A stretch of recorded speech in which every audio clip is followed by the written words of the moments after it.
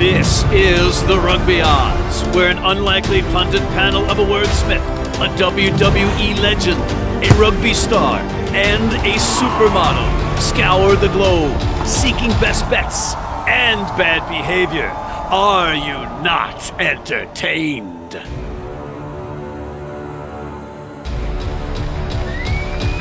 I, I love it. Thank you. Thank you. Great. You are absolutely great. But look, you can see in the sponsor opportunity green room, WWE Hall of Famer John Bradshaw Layfield and King Gift Egbelu, inventor of words, prepping diligently because it's another great show. It's Rugby World Cup top heavy. We have Mr. George Hook coming in, but without any further ado, let's bring in John and Gift. Gentlemen, we had another great week 40 and 17. We don't have a lot of time because we have Mr. Hook waiting in the sponsor opportunity green room, and we have a lot to get to around the Rugby World Cup, obviously.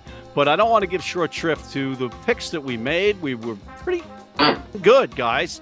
40 and 17, 6 and 2 each in the World Cup. Plus, we had the NPC and the NRL. But let's get right to the business of the wooden spoon and the walk of shame. I had a slightly better record by one game than both of you, who had tremendous weeks. And again, I know that you don't you don't uh, spike the ball, you don't high five, you just you just walk back to the huddle. But we do have the wooden spoon and the walk of shame to assign, and it's tough when we're so good at what we're doing to pick that. But John, you make it easy for various reasons. What various reasons? For having to have your microphone turned off during this show so many times. I get the wooden for that. How about you get the wooden bat for that? Because I don't know if you know what this says right here, Texas. Texas, America's team just rolled up. Again, he just had his mic muted for the very reason why he got the wooden spoon this week. Unfortunately, John, now we have to segue real quickly to the walk of shame because we have Mr. Hook waiting, bringing you back in. How about them Longhorns rolling into Alabama and whooping them boys down there? All right, he's not ready to come back and talk rugby, so we're going to mute his mic. And he's also getting the walk of shame because he was texting about Latvia versus Wales in soccer while we're trying to do this show, ladies and gentlemen. Inexcusable. Have you ever been to Latvia? It's a hell of a country.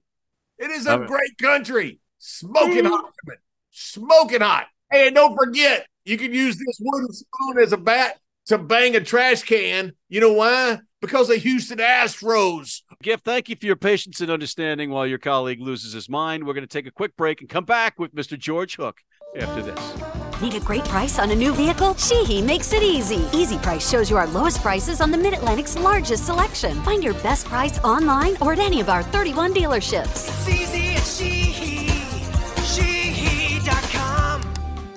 If you're in New York City and want to watch some great rugby, have some great food, and some great times, go to the world's best rugby pub, the Pig and Whistle on West 36th Street.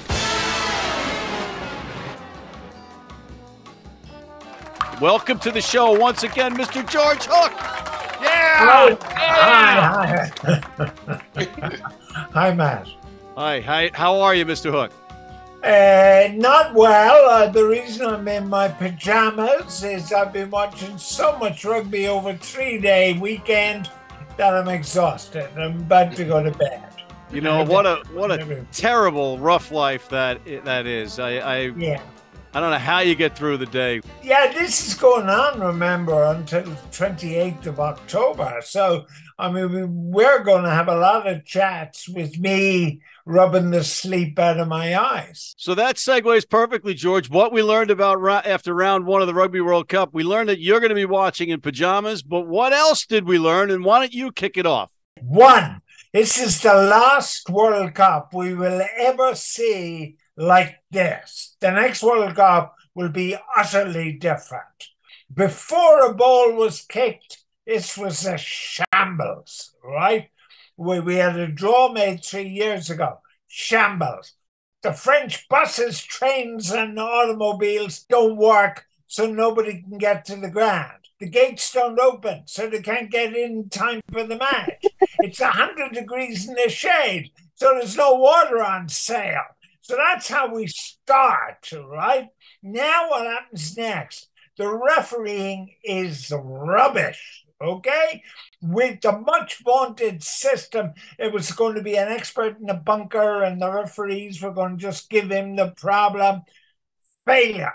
We have seen disastrous decisions about cards, either the issuing of cards or the non issuing of cards. We have seen very poor refereeing into the bargain, even allowing for that. Will South Africa, the question, will they be the first team in history to win the World Cup without a place kicker? They couldn't kick the ball over the bar from in front of the post pretty well, right?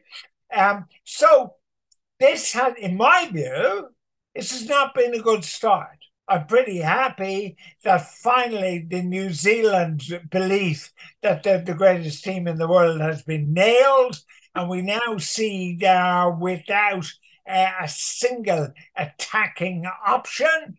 And their attack coach, who formerly made a mess of Ireland, is now making a mess of his native country, New Zealand. right? I, I'm disappointed, obviously, that there have to be minnows. So you got to see Romania beaten by 82 points by Ireland. It's meaningless. Or Namibia beaten by uh, Italy or Georgia beaten by Australia.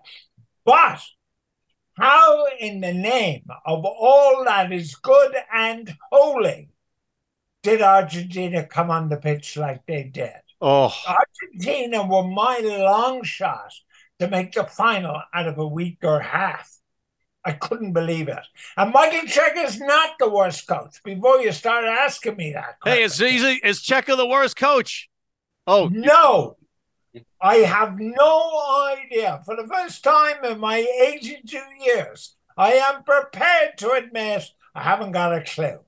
I have no idea what Argentina were playing. But my other long shot Fiji were cruelly treated Oh. by a rubbish Brit- British referee. But this is the British. I mean, this is what they did to you over 200 years ago. This is what they did to us over 800 years ago. I mean, they just make a habit of, of making a hard time Yeah. for innocent nations. And Carley was a pain in my butt. That's what I learned. That's a lot that we learned there. And I, I just want to tap in and see if any of my colleagues here also learned anything. John, you want to take a stab at this? No, I don't want to follow that. No, no, I don't. No, it's impossible. I know better. I want you to regroup here. There's got to be something that you took out of this. It's like following the rock. You just don't do it. You don't try. You just don't do it. It's simple. I'll tell you what I learned, but it's not going to be near that entertaining. So I- if you're watching this show, just fast forward past me because I promise you, it, you'll be you'll be better off for doing it. I learned two things in this New Zealand France game. I learned number one, New Zealand is a top three, is not a top three team in the world like people thought they were. You got uh, France, South Africa, and uh, Ireland, top three teams. New Zealand is not in that league. And number two, France is better than they think they are. That first half was one of the worst halves of rugby I've ever seen because they were scared of New Zealand. So they're just kicking the ball. They think we're just going to play position, play position, hope they make a mistake. France came out the second half and they pressed the game. And once they started taking the field vertical, they realized they were better than New Zealand. I mean, they rolled them in the second half. But that first half, they're sitting out there. That was a terrible, terrible half of rugby. And it's because France did not believe in themselves. I mean, they're missing their big prop, they're missing their fly half. I think they thought they had to kick to win the game. They realized they were better. That changes things because France is a really good side. That last 20 minutes, the way the French played, that could be the key pivotal moments Oh. in this Rugby World Cup because that's when you, you're right, they gained that confidence. They were a better side than New Zealand, and when they started realizing that, they got they got on the front foot, and, and New Zealand never got off their back foot, and France just pressure, pressure, pressure. They destroyed them in, in the last half of that second half, and they it's all because France finally realized they were the better side. Gift. I mean, once again, how do you follow up then to follow up with that whenever it's just taken from there? So for me, obviously, I think I concur fully with uh, the, the the context of France and New Zealand. So I don't, I'm not going to go back into that again. I'm going to say with uh, England and Argentina. Uh, one, Argentina was also my long shot uh, finalist and uh, they very much Me too, disappointed with King. their absolute, absolute lack of strategy. But I'm going to give them this: George Ford for England was Steph Curry. Like there's sometimes whenever you can bring a great baton and just beat people through, and that's what Argentina did. But England came with sharpshooters. They scored nothing in terms of tries. They just sharpshooted. If you're drop kicking from 80 meters back, you can't do anything against that. I don't think England can repeat that on a regular basis, and I think teams will be able to uh, compensate from allowing that to consistently happen four times in a row, unlike Argentina, who did not adjust to that at all throughout the game. So I'll take that. Fiji Wales really was the best game that wasn't seen, but I do wonder if Fiji is a story or a contender because even though they lost off of that last little bit, that one was it was a close game. It was a lot of talent, but I do wonder if they had the same issue that France had. And I feel like I learned that Fiji is still a little bit scared and a little bit nervous, but they're willing to fight. But I want them to get that Olympic battle uh, confidence, not their uh, we're just another island that is trying to show out. Still, my dark horse to come out of the the the the pool, but I, I got a little scared. And then South Africa versus uh, Scotland. South Africa is reckless abandon. All right. They do not care about their bodies and they got speed galore in the backs. And if Yeah. you allow them to just get a sliver, they are going to absolutely do what we thought New Zealand was actually going to do and actually slice you through. But man, shout out to Scotland. But Siya Kolisi is on some other level because that man was moving like a madman. They are coming to hunt. Three great uh, answers, fellas. I'm stunned. One thing that I learned is that it's easy to spot the international players that play for Japan because the five to six guys that are at every single breakdown are not traditionally Japanese. And I was watching the game in the world's best rugby pub, the Pig and Whistle on West 36th Street, jam packed. And people were like, you know, making fun of Japan. I'm like, it's just more obvious with Japan. Look at the Irish back line. There's three guys from New Zealand in it. But George, I'm going to come Wait a back minute. to you- That's all your drunk weekend came up with? That's possibly the dumbest analysis I've ever heard. That wasn't analysis. It was, it was an observation about two things that are blatantly obvious that anyone else can probably identify with. And also the mint jerseys for South Africa, as my oh. wife my my wife phrase, what the fizzle is going on there? But I want to go back to George. I'm going to yield some of my time, George. Is Steve Borthwick, is he a genius? Did he just play us and now this team is a contender? All right. Uh, can I quote from my greatest hero, Winston Churchill? All right. We will fight them on the beaches. We will never give in. All right. Now, they deep down in this psyche, in this English psyche, and I knew this was going to happen, when the chips are down, the team takes over. Forget the coach. Coach isn't on the pitch. And and the big decision, and this is a monster decision for Borthwick. I would not pick Farrell for the remaining games. He's not eligible for the next one. But I mean, when he becomes eligible, Ford is immeasurably better. Whatever you might think about drop goals, and remember, the drop goals were once worth four points when the try Yeah. was worth three. Okay, so the drop goal is still a key part of this game we love. For Ford to take the, the, the game in his hands and take those three shots, two in particular, demonstrates he's the man at number 10, not Farrell. Don't talk about Farrell at number 12. Uh, Tuilagi had a super game at 12. The, the, the wild card for the English is do we play Marcus Smith at full back? Yeah. to give us another attacking option. But like England are back, and now the, the English newspapers, you know, uh, which go back to Oliver Cromwell, I mean, they think they're going to win this thing. They're not going to win it, but they're going to do better than a lot of people thought. George, what about Owen Farrell? I think what they should do is use the Ryder Cup system. Farrell becomes the non playing captain. We're going to take a quick break. And we're going to come back and we're going to ask questions of Mr. Hook and milk his wisdom right after this.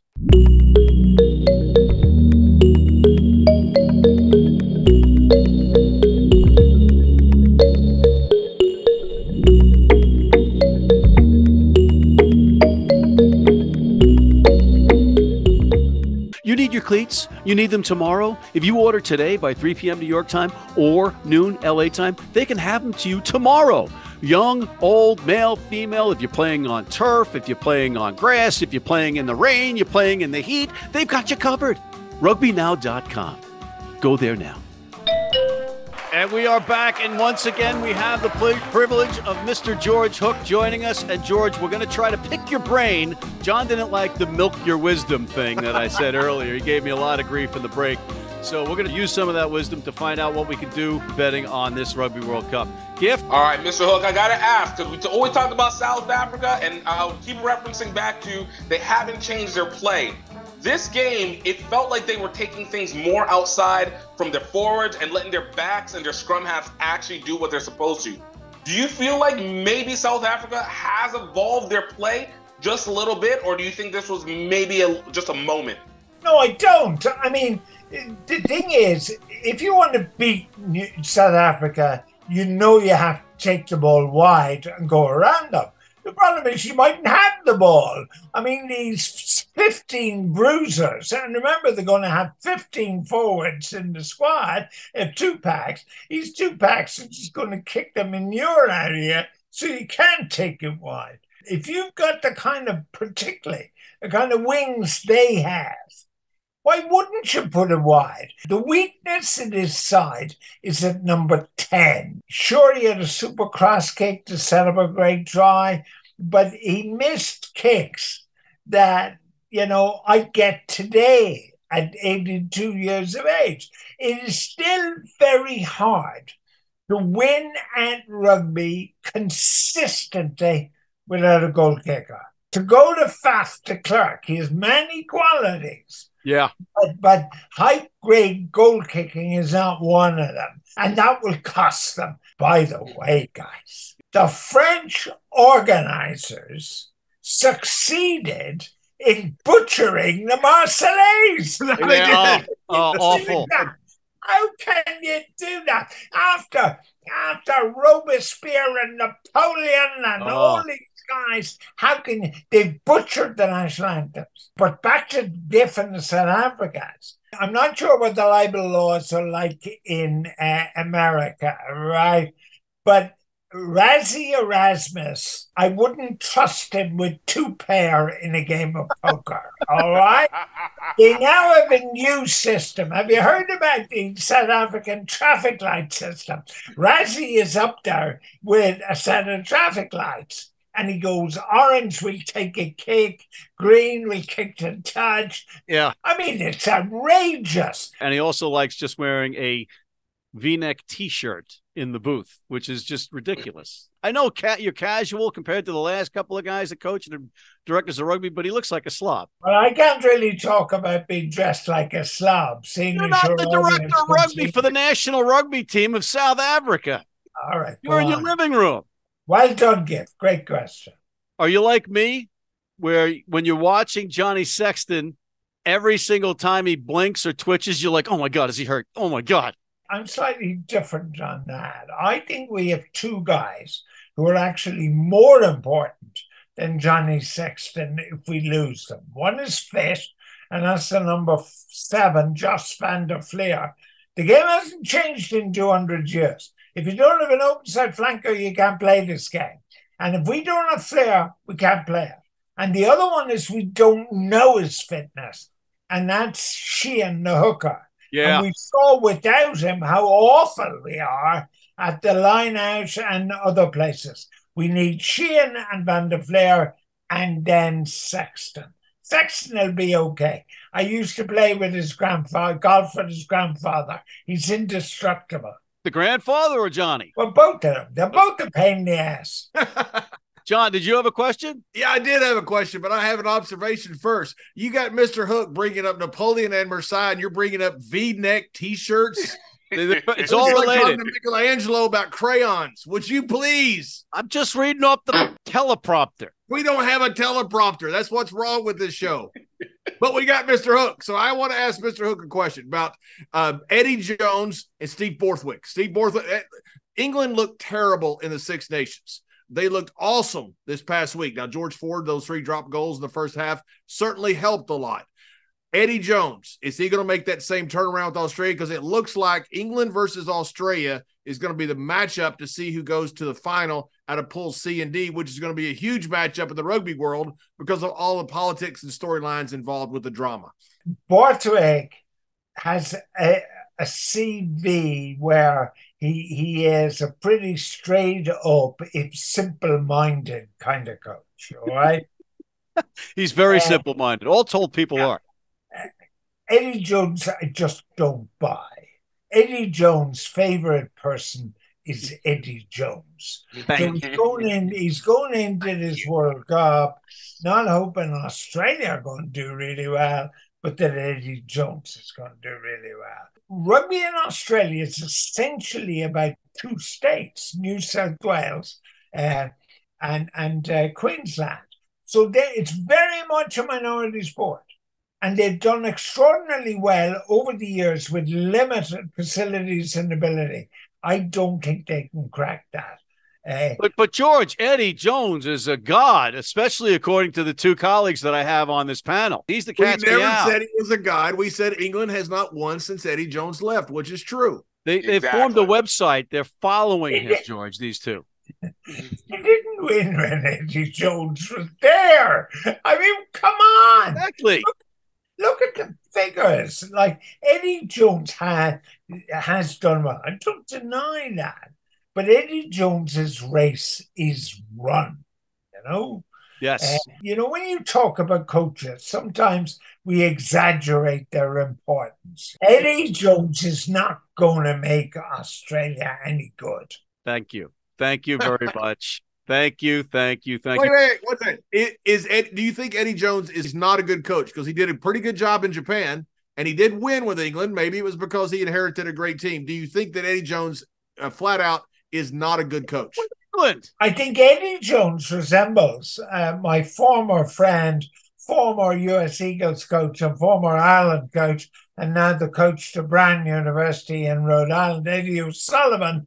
Eddie O'Sullivan and Eddie Jones are outstanding technical coaches.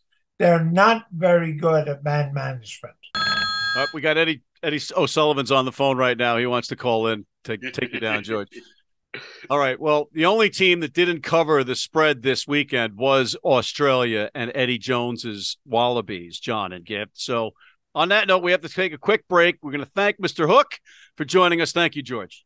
Thank you, sir. Thank you, Yeah. Mr. Hook. All right. Don't go away. We'll be right back after this.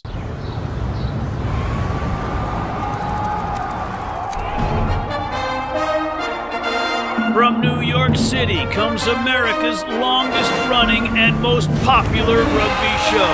The biggest names in Major League Rugby, MLR highlights, and big match previews. Rugby Wrap Up presents MLR Weekly, made in New York City.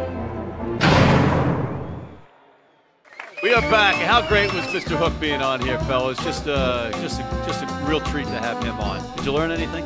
He's bringing up philosophy. He's bringing up Shakespeare. He's bringing up Napoleon. You're bringing up V-neck shirts. What the hell is wrong with you?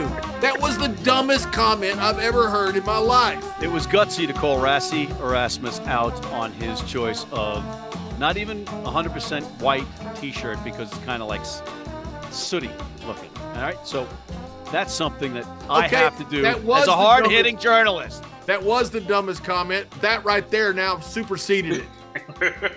You learned nothing about my power on this show, I will mute you in a second.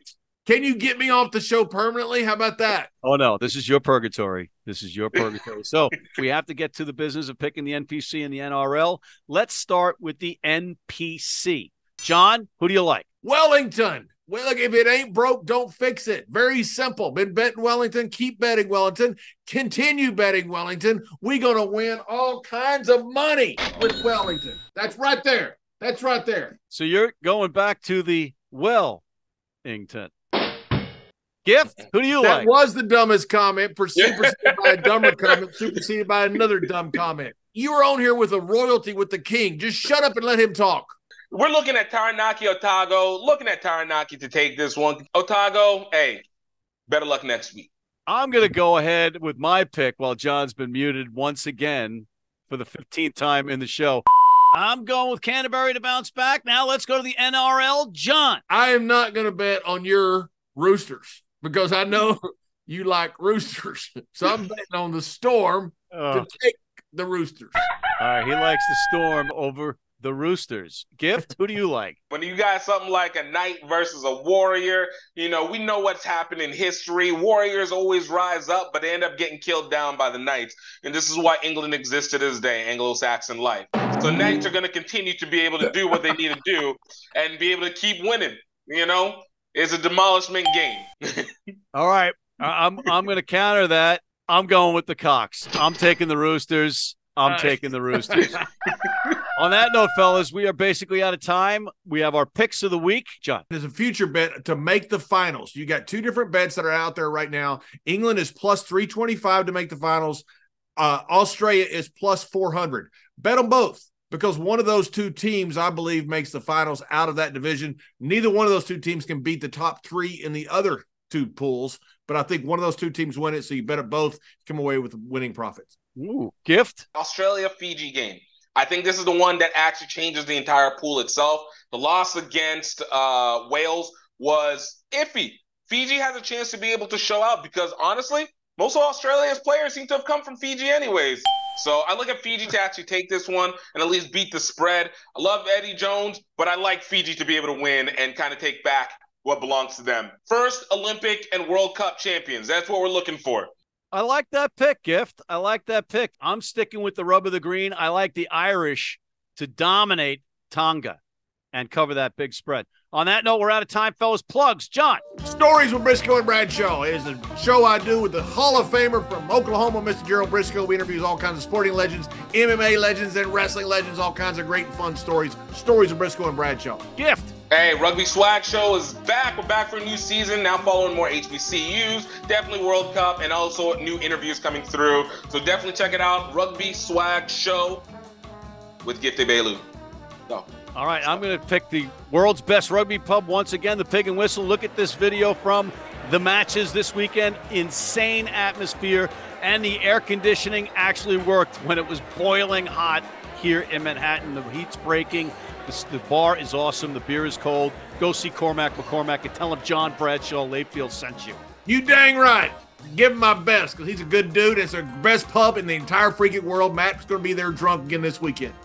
On that note, we are out of time. Thank you to Mr. John Bradshaw Layfield, the WWE Hall of Famer. Thank you to King Gift Egbelu, the inventor of words. Thank you to the great Mr. George Hook, and thank you for tuning in. Please check out our other shows, including the MLR Weekly College Rugby Wrap Up. Hit that subscribe button on YouTube. Join our weekly newsletter, and please sign up for our American Red Cross Blood Donor Team.